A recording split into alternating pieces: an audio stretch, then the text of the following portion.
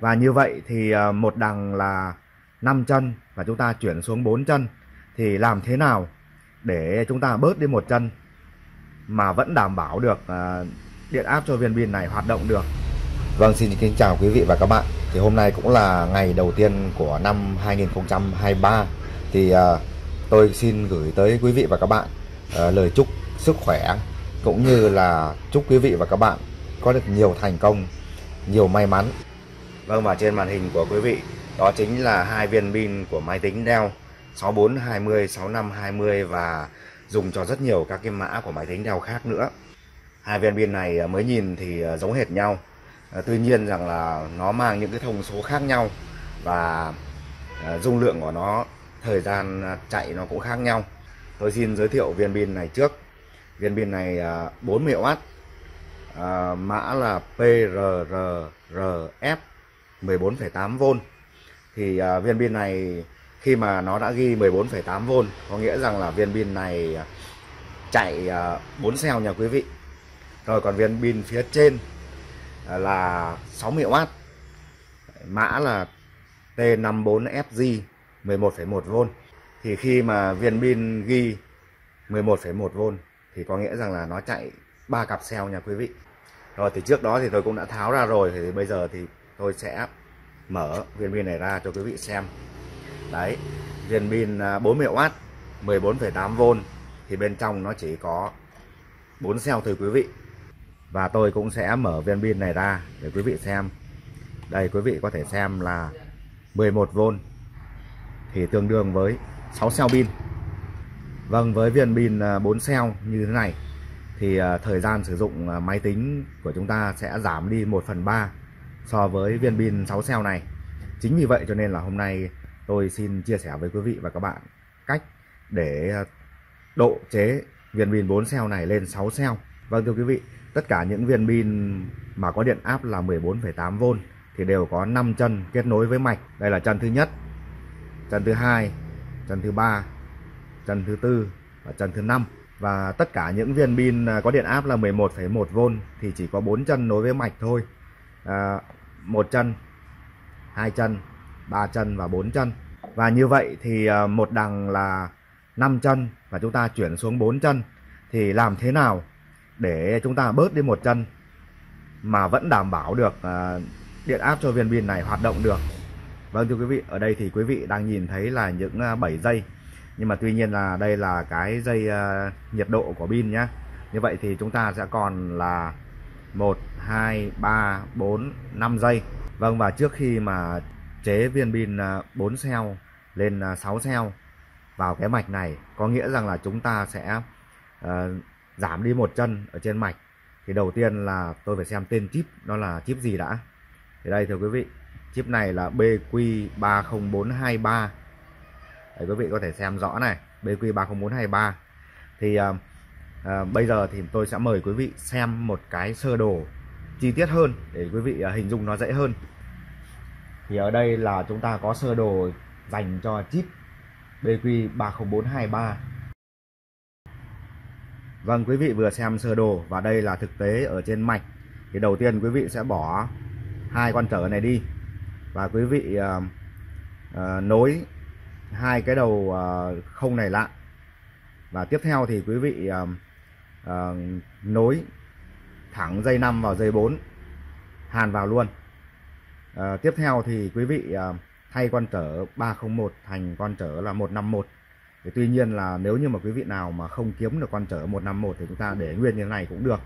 Nhưng mà dứt khoát chúng ta phải bỏ hai con trở này đi.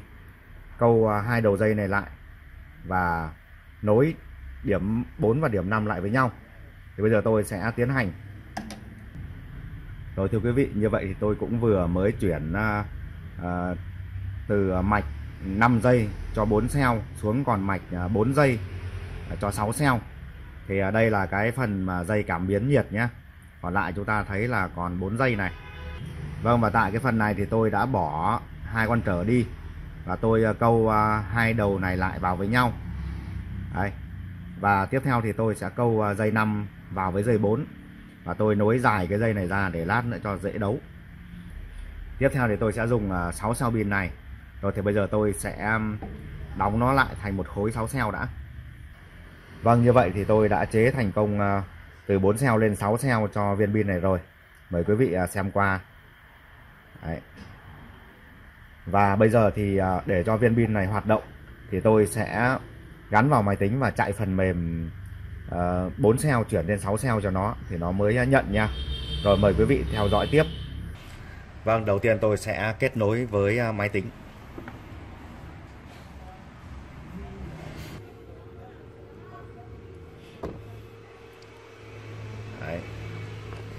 Rồi đây tại phần đi design volt thì nó đang ghi là 14,8V như vậy thì à, cái mạch này nó đang nhớ cái bộ phần mềm cũ là 14,8V và tại đây thì chúng ta nhìn thấy là chỉ có 3 cặp cell thôi.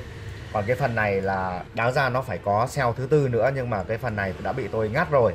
Thì nó chỉ hiển thị có ba cặp cell. Rồi thưa quý vị, bây giờ thì tôi sẽ nạp cái file chuyển từ 4 lên 6 cell này vào con chip 30423 này. Và quý vị à, chú ý rằng là trước khi nạp thì cái phần này đang là PRRRF nha.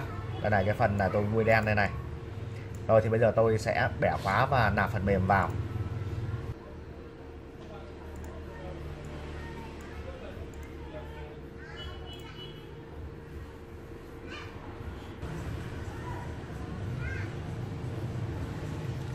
Đây rồi thì quý vị, tôi đã bẻ khóa xong. Tôi sẽ vào phần này. Đầu tiên thì tôi sẽ lưu lại file gốc đã.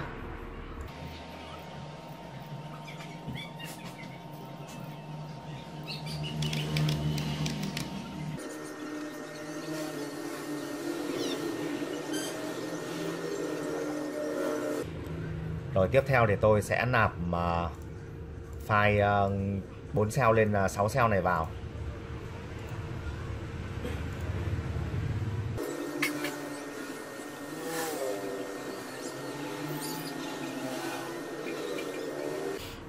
sau khi uh, nạp xong thì uh, tôi sẽ chỉnh sửa lại một chút thông tin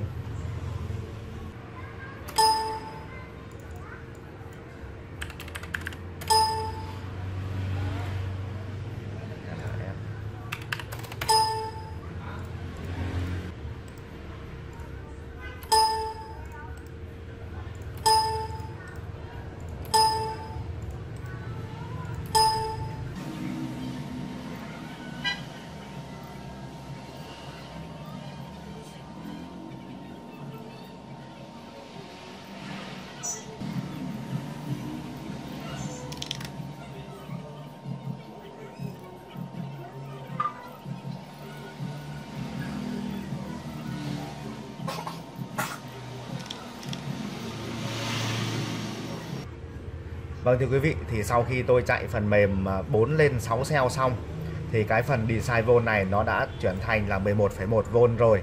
Và tại phần này là nó chỉ có ghi nhận là 3 cell thôi. Không à, có một cái đơn vị nào ở đây là chỗ này là ghi là số 0. À, phần mã pin đã chuyển thành là T54 FG. Rồi thì bây giờ tôi sẽ xả thử. Đấy quý vị thấy rằng là nó đã xả ok rồi và bây giờ tôi sẽ sạc thử.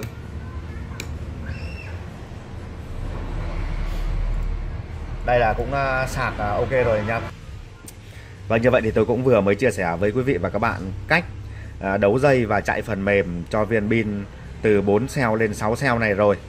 Và bây giờ còn một khâu sau cùng, đó chính là phần vỏ. Thì phần vỏ thì ừ, ở đây là họ đang làm các cái ngăn này. Trước đó là 4 cell thì bây giờ một là nếu như mà tôi sử dụng cái vỏ này thì tôi sẽ phải loại bỏ những cái ngăn nhựa này đi. Và hai là tôi sẽ dùng một cái phần vỏ sẵn của viên pin 6 cell này luôn. Đấy, quý vị có thể à, làm cách nào cũng được. Thì bây giờ tôi sẽ à, bẻ cái phần này đi.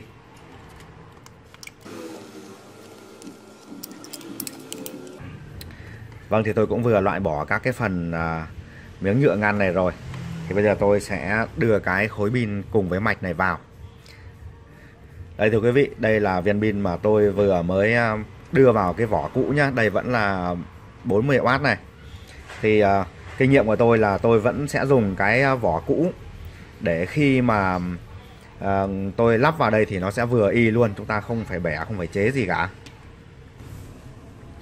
Vâng thì bây giờ tôi cũng sẽ lắp vào máy và chạy thử xem thế nào nhé.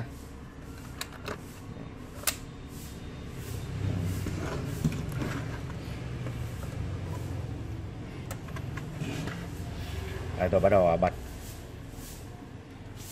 Ồ, như vậy là đang chạy rồi, thưa quý vị. Đèn sáng này. Bây giờ tôi sẽ um, xem thử xem là bao nhiêu phần trăm. 24 phần trăm. Rồi bây giờ tôi sẽ cắm à, sạc thử. Cắm sạc thử xem thế nào nha. Nhận sạc rồi thưa quý vị. Đợi một chút nữa, nó lên à, 25% là ngon. Thông thường thì à, những viên pin như này mà nếu như nó sạc mà nó chậm thì càng tốt nha quý vị. Vì khi mà nó sạc chậm thì đồng nghĩa với việc là nó sẽ xả chậm. Ô, như vậy là đã lên à, 25% rồi thưa quý vị. Đấy, quý vị có thể xem là dung lượng pin à, từ 24% mà lên 25% nghĩa là đã sạc tốt nha. Rồi bây giờ tôi sẽ rút sạc ra. Vâng như vậy thì tôi cũng vừa mới chia sẻ với quý vị à, cách để chế pin 4 cell lên 6 cell thành công. Và tôi cũng vừa mới thử sạc xả trên chiếc laptop và cách này thì tôi cũng đã làm và thành công rất là nhiều rồi. Đây quý vị có thể xem là vỏ 40W rất là nhiều. Và viên này nữa thì tôi cũng đang chuẩn bị làm. Và, và quý vị nào mà muốn làm thì à, cứ yên tâm mà làm. Hoặc là có thể à, quý vị có thể gửi cho tôi để tôi à, làm và tôi gửi lại cho quý vị cũng được. Rồi, video của tôi cũng xin được tạm dừng tại đây. Xin chào và hẹn gặp lại quý vị ở những video sau.